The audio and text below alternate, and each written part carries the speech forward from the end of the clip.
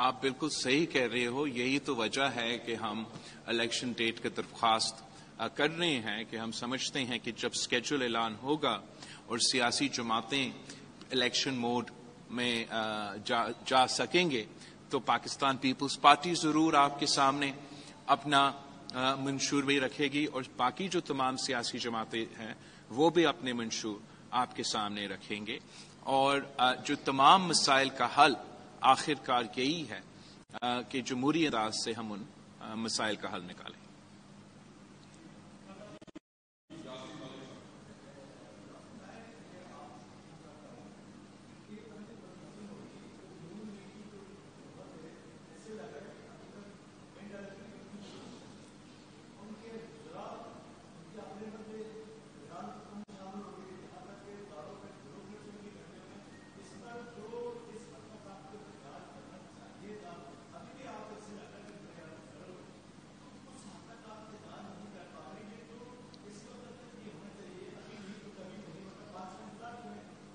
इंतज़ार का एक तो आपका बहुत शुक्रिया आपके सवाल का।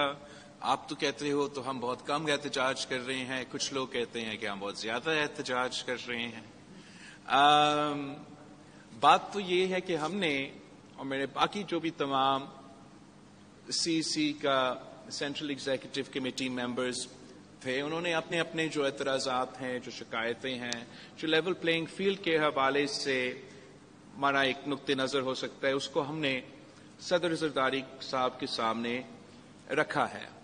और, और तकरीबन बेसिकली वही बात हमारा सीसी में हो रहा था कि ऐसे ना हो कि हमारा एक एतहादी के बारे में कहा जाता था कि जब वो मुश्किल में है वो तो पाँव पकड़ते हैं मगर जब मुश्किल से निकलते हैं वो गला पकड़ते हैं। तो राय शायद कुछ लोगों का हमारा सीसी में यही था मगर हमने ये फैसला किया कि हम सदर जरदारी साहब को वो इख्तियार दे कि हमारा या जिसका भी लेवल प्लेइंग फ़ील्ड के हवाले से एतराज़ होगा सदर जरदारी साहब हमारा इन एतराज़ात को एड्रेस कर सके। आ, तो इसलिए मैं समझता हूँ कि इसके बजाय कि मैं आपके सामने किसी फलाक का शिकायत करूँ या इस चीज़ का शिकायत करूँ या उस चीज़ को शिकायत करूँ कि हम सदर सरदारी साहब को हमारा इन कंसर्न को एड्रेस करने के मौका दें।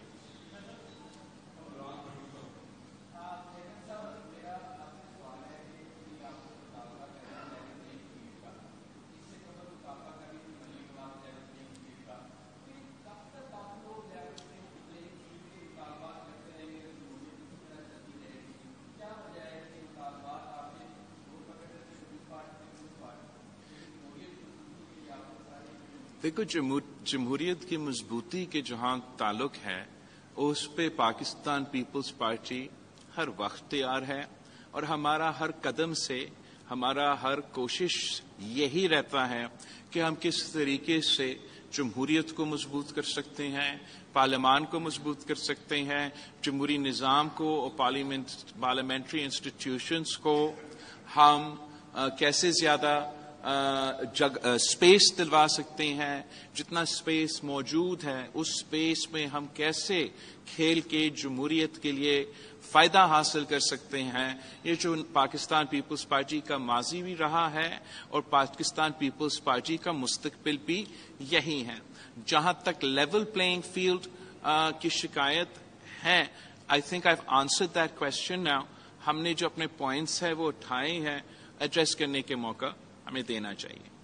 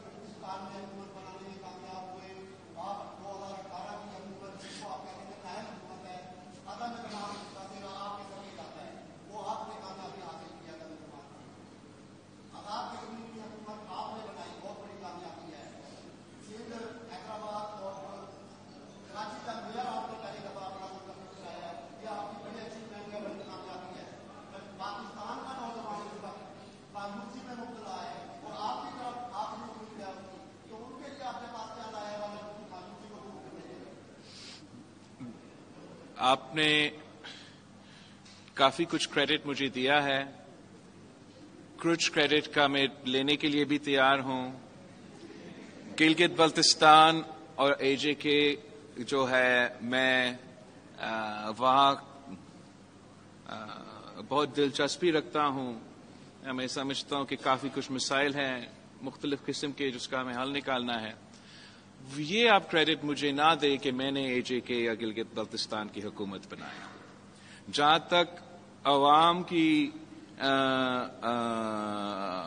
को उम्मीद दिलवाने की बात है नौजवानों को उम्मीद दिलवाने की बात है वहाँ आप सौ फ़ीसद दुरुस्त हो। ये अब तमाम सियासी जमातों का इम्तहान है फ़र्ज़ है ज़िम्मेदारी है।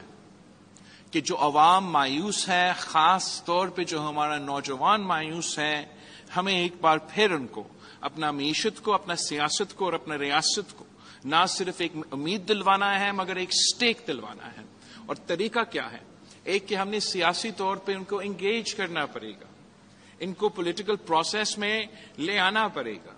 और जो इलेक्शंस हैं, जो इलेक्शन मुहिम है, जो इलेक्शन कैंपेन है वो सब के लिए, अवाम के लिए, अपने भरास निकाले निकालने के एक एक मौका है।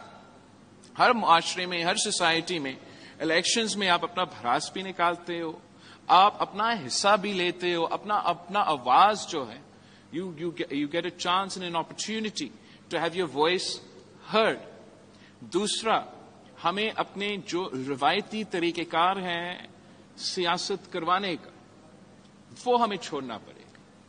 हमें ये समझना पड़ेगा कि अब जो पाकिस्तान के नौजवान हैं, जो उनका तादाद 65 percent of our population is under the age of 30 और मैं भी इसी महीने जो है आई बी टर्निंग 35 मैं उनके मिसाइल समझता हूँ, मैं उनको जानता हूँ। और मैंने पूरा दुनिया देखा है, मैंने बाहर से तालीम हासिल किया है, मैं, मुझे नज़र आता है कि हम किस किस तरीके से पाकिस्तान में बेहतरी लेकर आके पाकिस्तान के अवाम मुफाद पहुँचा सकते हैं, जिससे हम अपने नौजवानों को एंगेज कर सकते हैं, उनको ये हौसला दिलवा सकते हैं कि आपका मुस्तकबिल इस मुल्क में रोशन है। उसके लिए ना सिर्फ़ सियासी तौर पे इंगेज करना पड़ेगा, मगर मुआशी तौर पे इंगेज करना पड़ेगा।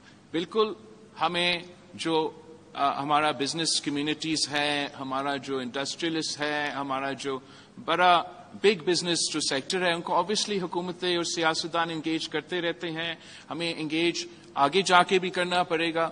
मगर जो आम आवाम है उनको भी आपको स्टेक देना पड़ेगा इस इस इस मीशत में, इस रियासत में। मैं समझता हूँ कि जिस तरीके से हमने बेनजीर इनकम सपोर्ट प्रोग्राम से गरीब तरीन औरतों को इस रियासत में, इस हुकूमत में, इस मीशत में स्टेक दिलवाया, वैसे हम नौजवानों को, किसानों को मजदूरों को स्टेक दिलवा सकते हैं।